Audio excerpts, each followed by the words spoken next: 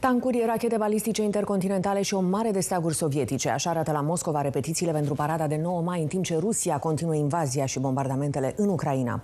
La Mariupol, oraș devastat de armata rusă, ocupanții regimului Vladimir Putin vor să organizeze chiar o paradă a prizonierilor ucraineni. 9 mai înseamnă pentru Rusia victoria Uniunii Sovietice împotriva Germaniei naziste după al doilea război mondial.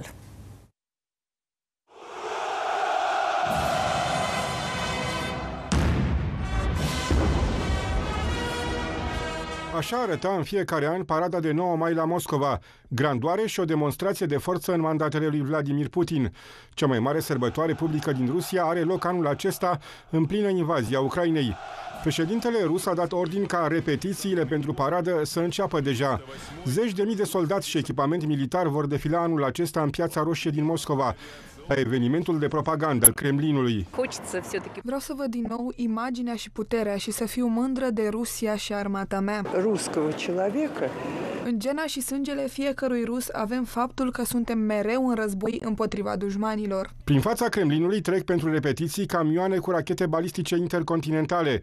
Rușii, mândri de ceea ce văd, se fotografiază pentru posteritate. Armata rusă va defila cu echipamente militare de talia celor pe care le-a desfășurat în Ucraina.